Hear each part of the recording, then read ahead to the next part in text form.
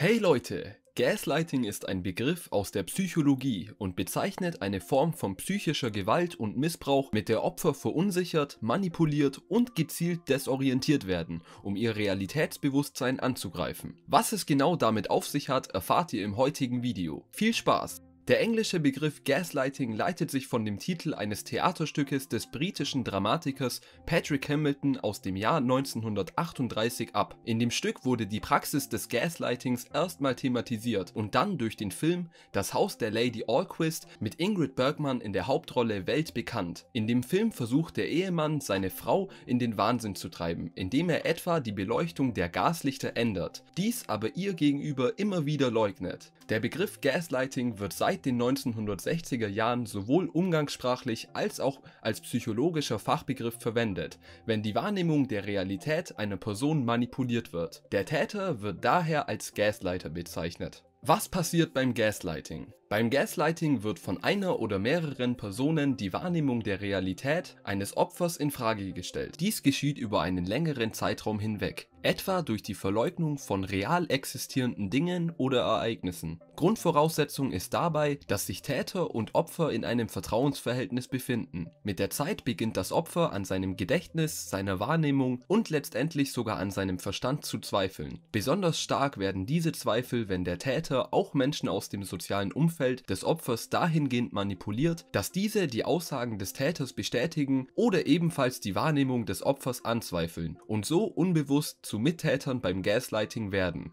Das Motiv der Täter ist eine Machtausübung über das Opfer.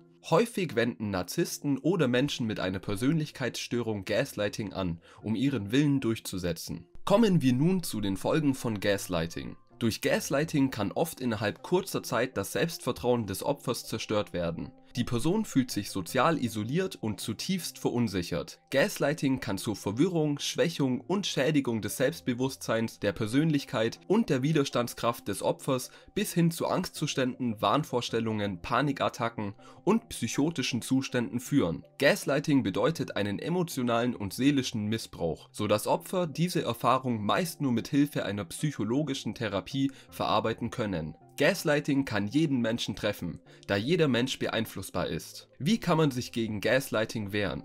Sobald man den Eindruck hat, Opfer von Gaslighting zu sein, sollte man umgehend den Kontakt zum Gaslighter abbrechen und professionelle Hilfe etwa durch einen Therapeuten suchen. Dieser kann die Manipulationsmethode erkennen und dabei helfen, das Selbstwertgefühl des Opfers wieder zu stärken. Auch Freunde und Familienmitglieder können unterstützen und die eigene Wahrnehmung bestärken. Entscheidend ist es, aus der sozialen Isolation auszubrechen.